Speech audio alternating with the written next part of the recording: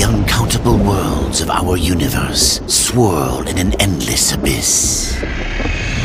Many worlds ravaged by time or conflict are swallowed by the abyss, returned to the nothingness from which they were formed. But others linger for eternity on the brink of annihilation, that creation might be balanced with destruction. And in the final moment of battle, death was banished to one such world in the autumn of its life, yet not far from the edge of darkness.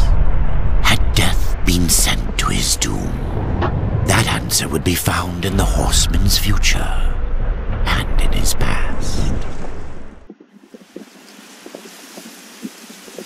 Be still, horseman. You are wounded. Don't touch me. Your arrival here is a bad omen. Yes. It troubles me greatly. Old one, there's more trouble ahead if you don't start making sense. Where is the Tree of Life? Life? this world is dying, lad. Choking on chaos and corruption. We can do little to stop it.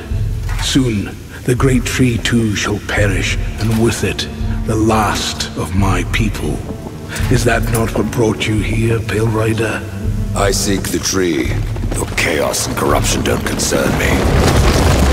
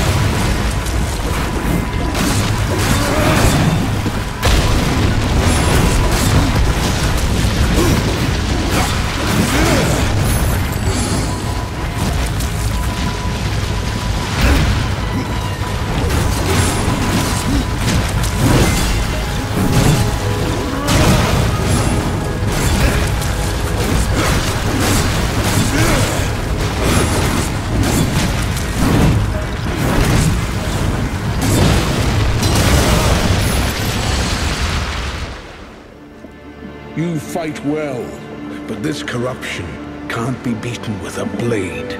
Seek out the Forge Sister. Ask her about the fire of the mountain. Help her, and she will help you reach the tree. As for me, I must return to my work. And who are you to command a rider? I am a maker, older than even the Charred Council. These hands have laid the foundations for many worlds, but that was long ago. And now they but hardly know the touch of stone. Are you not curious as to why I seek the tree?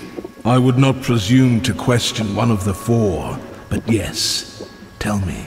I must restore humanity to redeem war. Heaven and hell battle upon the shattered earth. All creation trembles, and at the center of it all stands your brother.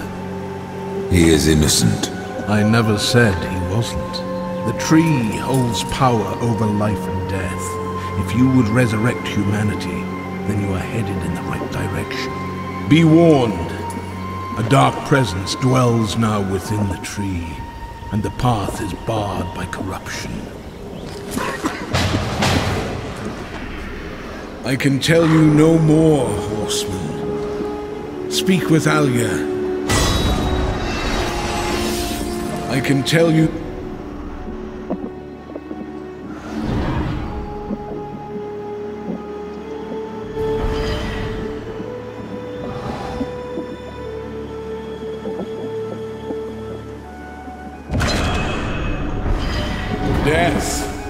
A bad omen.